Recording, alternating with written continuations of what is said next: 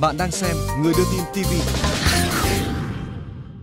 Thời gian qua, nhiều bạn đọc gọi đến đường dây nóng 08 8888 2323 của truyền hình Người đưa tin phản ánh các bãi gửi xe trước cổng Bệnh viện Mắt Trung ương trông giữ trái quy định. Phóng viên đã đi tìm hiểu và phát hiện nhiều vấn đề.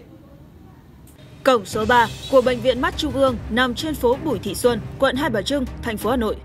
Ở đầu con phố có biển cấm đỗ xe và biển tuyến phố cấm để xe đạp, xe máy, đỗ ô tô trên hè phố, lòng đường.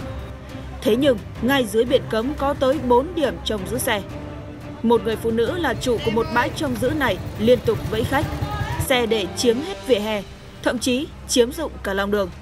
Bên kia đường cũng có một bãi gửi xe tương tự. Mỗi lần gửi, khách phải nộp 10.000 đồng và nhận một chiếc vé sai quy định.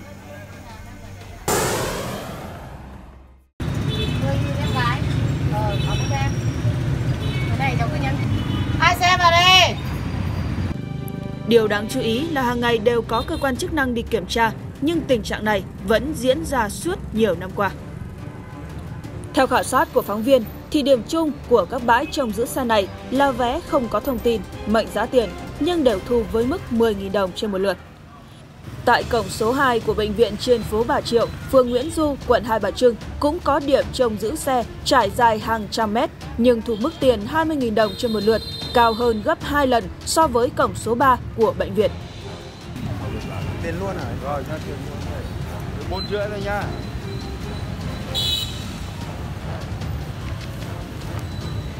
Mười hay hai mươi? Hai mươi.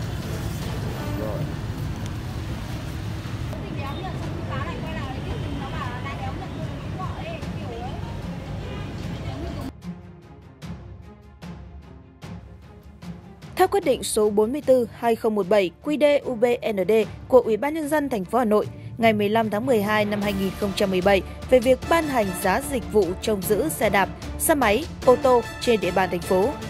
Trong đó, quy định mức thu trông giữ xe tại lòng đường, hè phố, chợ, trường học, bệnh viện là 3.000 đồng trên một lượt đối với xe đạp và 5.000 đồng trên một lượt đối với xe máy vào ban ngày. Các đơn vị trông giữ xe sẽ phải thực hiện nghĩa vụ tài chính với nhà nước theo quy định. Tình trạng này đã diễn ra nhiều năm nhưng không được Ủy ban nhân dân phường Bùi Thị Xuân, Ủy ban nhân dân phường Nguyễn Du cũng như Ủy ban nhân dân quận Hai Bà Trưng và các đơn vị liên quan khác xử lý dứt điểm, thể hiện sự thiếu trách nhiệm trong thi hành công vụ.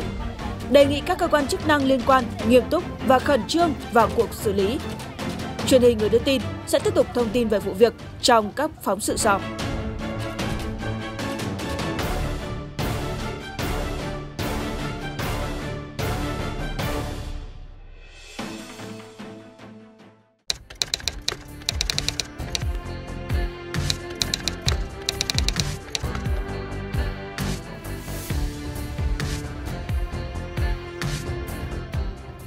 Cảm ơn bạn đã xem Người đưa tin TV.